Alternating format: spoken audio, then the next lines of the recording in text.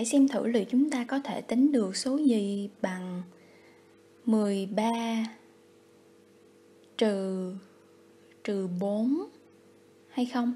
Và để giúp chúng ta tìm ra, hãy nhìn vào 13 khối ở đây. Và cách nó được thiết lập, bạn có thể thấy rằng 10 khối đã được sắp xếp ở thanh này ngay đây.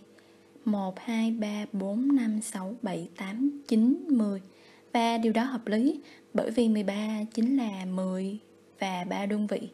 Một chục và 1, 2, 3 đơn vị. Và cái này ngay đây có tổng cộng là 13 khối. Bây giờ nếu chúng ta trừ 4 Chúng ta sẽ lấy đi 4 khối trong đây. Vậy hãy làm nào?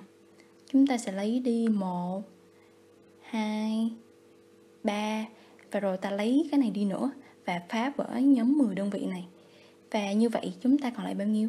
Chúng ta có thể thấy rõ ràng ta còn lại 1, 2, 3, 4, 5, 6, 7, 8, 9 Và vì vậy chúng ta có thể viết 9 ngay đây. Một cách khác để nghĩ về nó là nếu bạn lấy đi 3 Bạn chỉ còn lại thanh 10 đơn vị này. Và rồi bạn lấy đi một nữa Thì bạn chỉ còn lại 9